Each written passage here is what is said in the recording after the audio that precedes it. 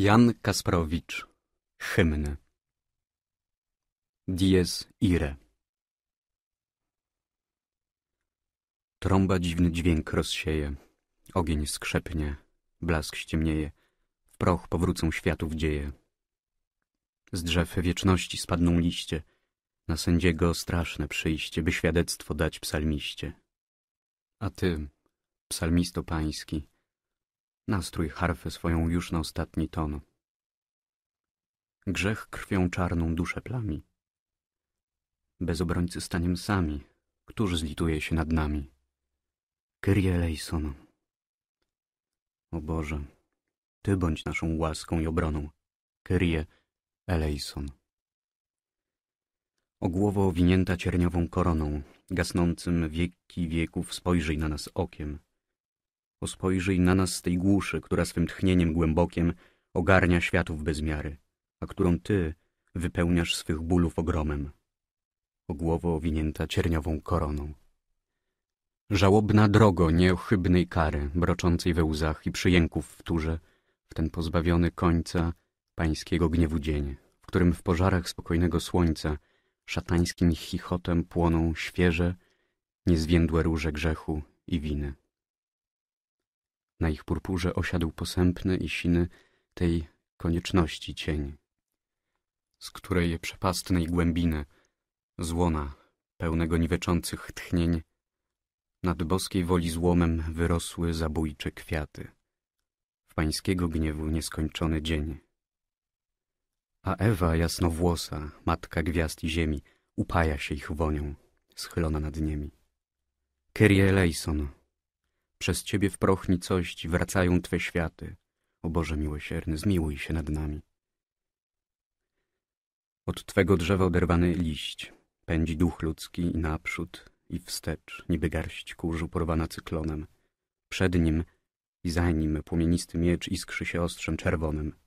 Przed nim i za nim wstają swych cmentarzy upiory wieków, naznaczone seromem winy i grzechu. I klną, i bluźnią, i płaczą, jęczą i syczą i dyszą, nieustającą rozpaczą. Od szaleńczego zamierają śmiechu w ten pańskich gniewów nieskończony dzień.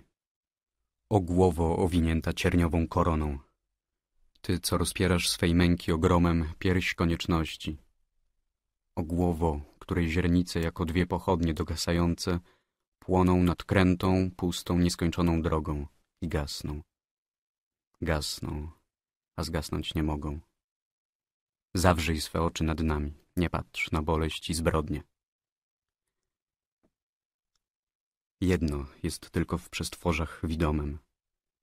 Jedno w zachodniej płomienieje zorzy nad płomiennymi falami wiekuistego żywota. I nigdy w ciemnię grobu się nie złoży. I nigdy ciężkich stóp swych nie poruszy. By iść i iść i iść poza granice duszy. Jedno jest tylko jednem.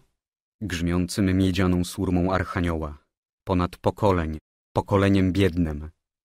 W pańskiego gniewu nieskończony dzień, wielki, wszechmocny ból. O Boże miłosierny, zmiłuj się nad nami.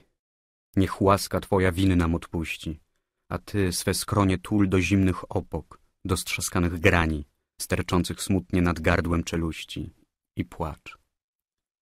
Surma jęczy, surma woła. Giną w chmurach wichrów czoła, wałem mrzących mgieł dokoła, nieznany oddech miota. Jakieś potworne, dzikie kształty tworzy i po dolinach rozpędza ich stada i znów je skupia w przepasnej otchłani. I ku niebiosom wyrzuca ich kłąb i w jakieś czarne rozsnuwa całuny, ten niewidzialny, dreszcz budzący tkacz, i ciężką, mokrą tą przędzą pokrywa wszystko, co jest. O biada. Pierś światów przed chwilą tak żywa, kona pod strasznym ciężarem. Olbrzymy świerków padają strzaskane. Las się położył na skalisty zrąb. Węże kosówek, wyprężywszy ciała w kurczach śmiertelnych, drętwieją bezwładne. Wrzosna granitów pod ścielisku szarem spełznął na wieki. Kozice stromą oblepiły ścianę i patrząc trwożnie w bezmierny, daleki, w ten nieskończony chaos mgieł i cieni, runęły w żlebny grób. Rozkrzyżuj silne ramiona i paznokciami wpij się w twardy głaz i odwróć oczy od onej przestrzeni, w której rozsadza horyzontów krańce ta głowa w cierniu wieńczona. Nie patrz, gdzie siadła jasnowłosa Ewa, wygnana z raju na wieczysty czas, mająca zbrodnię u swych białych stóp, wieczyście żarta płomienistą rządzą, winy i grzechu. O duszo pełna miłości, a którą nieustanne szarpią niepokoje. Pańskiego gniewu zwalił się już dzień. Trąbita sądu nad tobą rozbrzmiewa, piorunną mocą archanielskich tchnień. Pańskiego gniewu nieskończony dzień.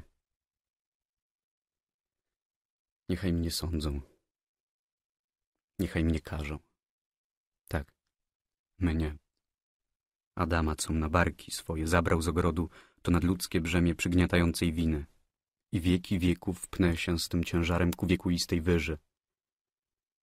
I z bladłą nie śmiem odwrócić się twarzą, tam, ku tym zmrokom, co zaległy ziemię, tam, ku piekielnej przełęczy, na której siadła jasnowłosa Ewa z padalcem grzechu swych białych stóp.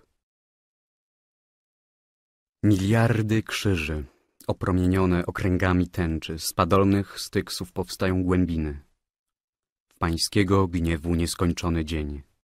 I rosną, rosną w jakiś straszny las, co wierzchołkami swych bolesnych drzew przeszywa wszystkie mgły i wszystkie blaski, które lśnią nad mgłami, wypływające z wszechmocy istnienia. O Boże miłosierny, zmiłuj się nad nami. Twojego gniewu nadszedł wielki czas. Głos już zagrzmiał Hiobowy, niebios walą się posowy, z owiniętej cierniem głowy. Rzeką i morzem płynie ciepła krew, w rzekę i morze krwi jej ból się zmienia. W świątyni Bożej zamilkł święty śpiew. Już się zasłona rozdarła na dwoje. Mur się już wali i skała już pęka. A krew w tych morzach tych czerwonych rzekach ścięła się w ciemny lód. Kyrie eleison. Ogromna, niesłychana wiekuista męka, z nieprzygasłymi oczyma, milcząca, cicha, jak zmierzch pobladła, na wklęsłych skroniach siadła, na wpółotwartych powiekach i na wydętych piersiach tych olbrzymich ciał, które do krzyżów przybiła nielitościwa dłoń. W kleszczach je swoich trzyma, wpija się w kąty ust, rabiona w kabłąk gnie, dręcząca wieki niezmożona siła, jak śmiertelny szał, zastygły, skamieniały w godzinie konania. Swoim ciężarem się wgniata w zwiędłe, z przepasek odsłonięte brzuchy i biodra spłaszcza, kolana rozsuwa i pokrzywione czarne palce nóg, pokrytych siecią fioletowych żył w zamarłych kurczach wydłuża. Ogrozo świata, o widma płynące w dal, w ten przestwór ślepej głuchy, w wilgotny, mgławy pył, w te ciemne wnętrza bez słonecznych brył, w potworne gmachy nadszczytowych chmur. Jeszcze nie zapiał kur, a na piekielnej przełęczy, nad dnem styksowych otchłani, siedzi pod złomem niebotycznej grani pramatka grzechu, jasnowłosa Ewa, z gadziną zdrady u swych białych stóp. Krielejson. Straszny przed nami otworzyłeś grób. I płyną. Płyną te milczące krzyże razem z ruchomym, wielkim trzęsawiskiem, które swą rdzawą kałużą oblewa męczeńskie drzewa. Wszystko, co było dalekim i bliskiem, co opadało w niedojrzaną głąb i w niedojrzane wznosiło się wyże, teraz tym wielkim, grząskim bagnem płynie. W pańskiego gniewu ostatniej godzinie. Kyrie eleison. Światy pochłania nieprzebyty muł, światy od bożych odepchnięte bram. A spod korzeni jadowitych ziół, spod kęp sitowia i trzciny i traw, z rowów, przepadlisk, wądolców i jam, pokrytych opalowym szkliwem zgniłych wód, zaczyna wypełzywać żmij skłębiony płód, czarne pijawki, zielone jaszczury wiją się naprzód w pław i oplatają kręgami śliskimi męczeńskich krzyżów smutne miliardy z bagnistej wyrosłe ziemi, zapadłe w bagnisty kał. I oto głowy swoje. Dziwne, ludzkie głowy, świecące trupim tłuszczem zżółkłych, łysych czuł, o szczękach, otulonych kłębem czarnych brud, kładą na łonach tych pomarłych ciał. I skośne, mętne oczy podnoszą do góry ku ich schylonym skroniom biodra opasawszy w lubieżnym uścisku, z wilgotniałymi usty, szepczą im słowa rozpusty. O Boże miłosierny, zmiłuj się nad nami. W królestwie śmierci staje nagi szał. W niedoścignionym błysku tchnienie żywota przenika. To, co od wieków zagasło.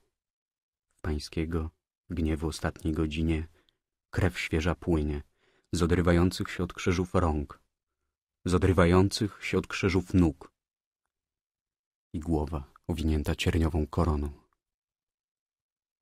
Ta głowa, która przestwór wypełnia bezbrzeżny, podnosi ciężkie powieki i patrzy. Jakaż to orgia dzika. Jakiż to chaos mąk. Kyrie eleison. Idą nasie z martwych wstali. Ogniem wojny świat się pali. Tłumy w krwawej brodzą fali. Adamie potępiony, zwróć się strasznych dróg. Zawiśnij na swym krzyżu sterczącym w niebiosa. Nie patrz, gdzie w spokoju Ewa jasnowłosa, piekielny zająwszy próg, do rozpustnego przytula się gada. O biada.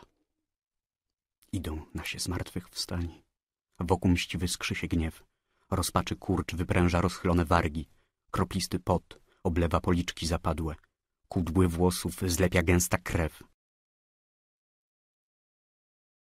Z wyciem hieny, z rykiem lwów, z psów szczekaniem, z rżeniem koni, które cugli nie zaznały, łkając, jęcząc, grożąc, klnąc, poszarpane miecąc skargi, pędzi tuman ludzkich rządz.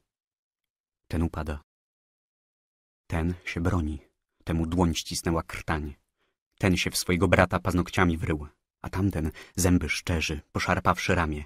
A ten olbrzyma ręką pochwycił dwie nogi i rozdarł na dwie szczypy tułów heraklowy i w ciemną rzucił bezdeń. W sądu straszną noc, a z parą szklanych, martwych kul, rozsadzających oczodoły, biegnie bez końca, bez końca, bez końca, gnając przed sobą bratobójczy chów. Niemy i głuchy strach. Zakryj błędne źrenice ścigane Adamie. Nad tobą, tam, u szczytu złocisto włosa Ewa. Jej grzechu ciężar zgniótł cię. Stanąłeś w pół drogi. Zakryj błędne źrenice i na wieki wieków rzuć się w przepastny żleb. Enoch i Eliasz z proroczymi księgi przyszli obwieścić szalonemu światu pańskiego gniewu moc. Lecz nim zdołali rozedrzeć swój płaszcz, nim głos wytrysnął z przepełnionych łon, padli w zamęcie spadających gwiazd, zgaśli, jak słońca, na to wzniecone w przedpoczątkach bytu, ażeby zgasły. Amen. Szum się wielki stał dokoła, kiedy surma archanioła na ostatni sąd zawoła. Głos rozlega się ponury, jak grzmot leci złotopióry, z dolinami równa góry. Drży strwożona światów dusza, a on głębie mórz wysusza, kości wieków w grobach rusza. Gwiazdy z orbit wytrąciła, archanielskiej trąby siła, już rozwarła się mogiła. Idą nasie z martwych wstali, ogniem buntu świat się pali, tłumy w krwawej broczą fali, z wyciem hien, z rykiem lwów, łkając, jęcząc, grożąc, klnąc, pędzi tuman ludzkich rządz. A on, potężne łono, przepotężnych łon, jasność jasności, zmrok zmroków, łaska łask i gniewów gniew stanął nad skonem żywota. I rękę położywszy na głowie boleści, na niezmierzonej, cierniem opasanej głowie, wypełniającej wszechświatów przestwory, rozpoczął sąd. Biją pioruny, a nad pioruny idzie jego zew. Ogrom bytu błyskawic wszystkich nie pomieści. Jego światłość złota strzela nad pełnie, nad ogniste łuny błyskawicowych potoków. Czym jestem wobec ciebie? Ja, com z rajskich włości zabrał z sobą wygnaniec, tę łamiącą winę i teraz ginę, od wschodu do zachodu tułacz nieszczęśliwy, pod nieuchronnych wyroków w początkach dnia i nocy wzniesionym obuchem. Stopę swoją złożyłeś na pokoleń grzbiecie i sądzisz. Kyrie eleison, płaczów i jęków słuchasz niesłyszącym uchem i sądzisz. Kyrie eleison. Na mękę wieków patrzysz niewidzącym okiem i sądzisz. Kyrie eleison. Niewiasta z rozpaczliwym krzykiem rodzi dziecię. Ty, jego duszę grzechu oblewasz chyzopem i sądzisz. Kyrie eleison. Wichr idzie po rozdrożach westchnieniem głębokiem ku twojej wyży. Modlitwy niesie krwawe, przybite do krzyży. Ty sądzisz. Kyrie eleison. A kto mnie stworzył na to, ażebym w tej chwili, odziany potępienia podartą żałobą, kawałem kiru, zdjętym z martwego świata, wił się i czołgał przed tobą. I martwym, osłupiałym z przerażenia okiem, strasznego sądu wyławiał płomienne, świat druzgocące rozkazy. A kto mi kazał patrzeć na te czarne głazy, rozpadające się na gruz pod mocą twojego gniewu? Przeraźliwy Boże! Na głazy te, gdzie straszny owoc twego drzewa, złocisto włosa Ewa, do piersi pierś padalca tuli obnażoną, o głowo przepasana cierniową koroną. Któż się nad dolą zlituje sierocą, nad moją dolą, której, Boże, Twe ręce z nie wyzwolą? Kyrie eleison. Patrzaj. Kyrie eleison. Ona swą białą dłoń kładzie na jego skronie na trupią, zapadniętą, zżółkła skroń zleniałą. Kyrie eleison. I podczas gdy swe sądy sprawiasz, ty, o morze niewyczerpanych gniewów, ona swym okiem patrzy w jego oczy, omdlewającym okiem. Kyrie eleison. Jej nagie uda drżą, palcami rozczesuje złoto swych warkoczy i falą złocistych włosów osłania jego nagość i pieść, i pieść, ustami czerwonymi bladość jego ust. Kyrie eleison. Wężowe jego kręgi opasują biodra rozlubieżnionej boleść, a ona, wyprężywszy swe rozpustne ciało nienasyconym, oddycha pragnieniem. Kyrie eleison. Na łonie jej spoczęła czarna, lśniąca broda rozpalonego szatana, co świat umierający okrył swoim cieniem. A ona w zbrodniczych pieszczot rozdawaniu szczodra zamknęła w drżące biodra, w nabiegłe rządzą ramiona. Kyrie eleison. Mą duszę pali wieczna, niezamknięta rana. Któż mi lekarstwo poda? Ojcze rozpusty. Kyrie eleison.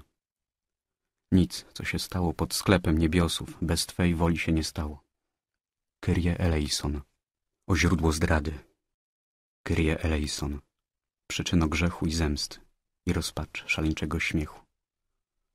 Kyrie eleison, sądź, sprawiedliwy, krusz światów posady, rozżegnij wielki pożar w tlejącej iskierce, na popiół spal Adama oszukane serce i płacz. Z nim razem płacz, kamienny, Lodowaty Boże, niech Twa surma przeraźliwa echem płaczu się odzywa nad pokosem Twego żniwa. Dwujęzycznego smoka, szatana o trzech grzbietach zwalczył w wielkim boju Archanioł Pański, Michał i zginął w otchłani. Amen. I stał się koniec świata. O chwilę spokoju. Zgasł płomienny głos proroka i wieczności noc głęboka, nieprzejrzaną jest dla oka. A ja, wygnaniec z raju, tułacz nieszczęśliwy, zesłany, aby konać na te ziemskie niwy i patrzeć, jak pod złomem niebotycznej grani usiadła matka śmierci, Ewa jasnowłosa, pieszcząca węża grzechu. Posyłam w niebiosa, opadłe nad wieczności tajemniczym mrokiem, to moje wiekuiste, nieprzebrzmiałe Amen. Amen. W umarłych bytów milczeniu głębokiem słychać jedynie Amen. Moje straszne Amen. O Boże miłosierny, zmiłuj się nad nami. Kyrie eleison. Przede mną przepaść zrodzona przez winę, przez grzech Twój, Boże. Ginę. Ginę. Ginę. Amen. A cóż powstanie ponad nicościami, gdzie ongi były światy, i ja w chęć życia bogaty, a dziś w umarłych postawiony rzędzie. Niech nic nie będzie. Amen. Bo cóż być może, jeślim ja zaginął, na wszystko mrok nicości nieprzebyty spłynął. Amen.